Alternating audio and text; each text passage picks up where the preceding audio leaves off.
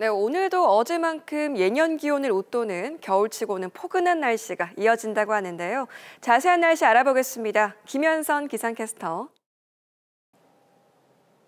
네, 평년 기온을 웃도는 날씨는 딱 오늘까지입니다. 성탄 연휴가 시작되는 내일부터는 기온이 그야말로 곤두박질 치겠는데요.